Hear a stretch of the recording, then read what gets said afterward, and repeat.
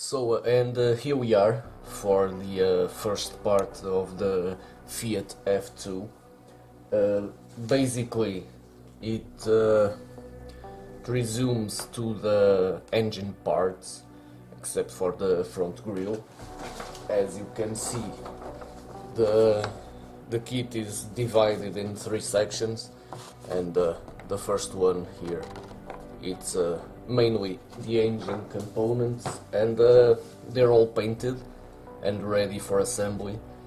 Uh, it consists, well, major major parts are painted in the steel color, except for the the engine block which I've painted with uh, burnt metal to simulate uh, iron, casted iron. I don't, I don't know exactly the material of the engine block but uh, the rest of it is uh, purely steel.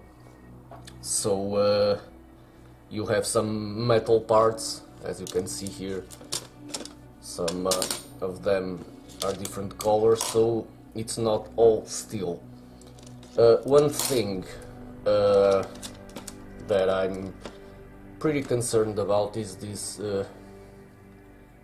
orange tubing which is completely rigid and uh, as you can see it broke. And uh, it is used in these uh, connectors here.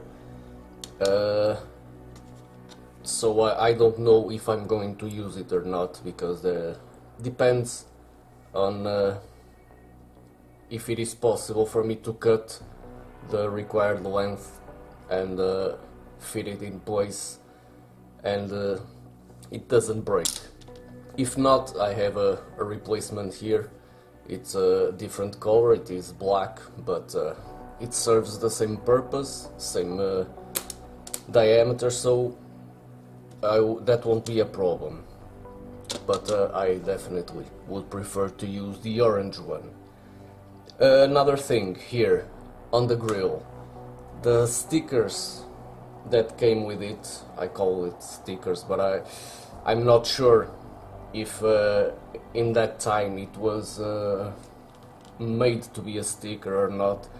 But uh, since it is not usable anymore, I've used the outer part of it as a template and I've painted the the lettering in the radiator.